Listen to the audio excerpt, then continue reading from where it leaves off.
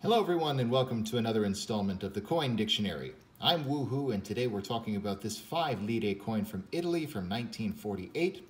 We'll go over the history, the value, the basics, and any other pertinent information about this coin. So let's get started. This is an aluminum coin. It weighs 2.5 grams. It's 26.7 millimeters in diameter, 2 millimeters thick with a reeded edge.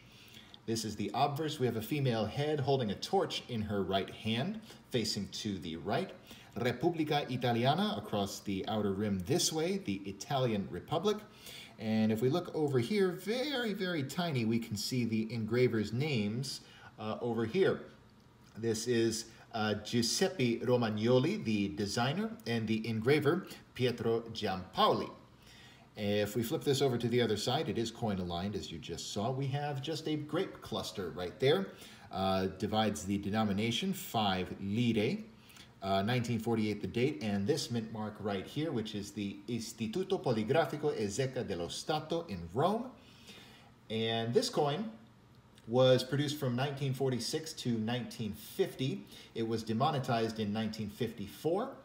Uh, the 1948 issue in particular uh, has a mintage of 25 million one hundred twenty-five thousand. So it is one of the better dates, as a matter of fact, in this coin's short production run. Uh, the key date is 1947, actually, with a mintage of just 17,000. Uh, but this coin can actually command some uh, decent premiums in mint state condition.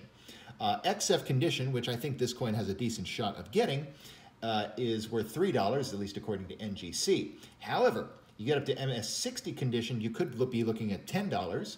MS63 could be looking at $30, and MS65 could be looking at $50. So even if this isn't one of the key date issues of 1946 or 1947, uh, this could still command some decent value if you find this in good enough condition. I think this particular example, the scratches are going to knock it down a peg or two, but uh, well worth looking into if you happen to have it.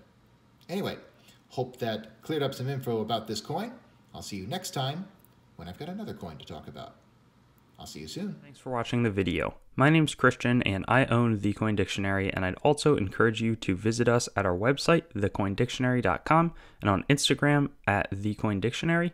And I'd also like to draw your attention to some other helpful coin resources, such as my other YouTube channel, Treasure Town, which does more in-depth videos about coins and collectibles, as well as some resources like coinmeltprice.com, which shows up to date precious metals pricing as well as the melt values of the coins that you own, coinsmetalscards.com, which will both be a marketplace and a news source for coins, metals, and cards, as the name suggests, as well as whatsthegrade.com, which will develop into a stickering service for already graded collectibles.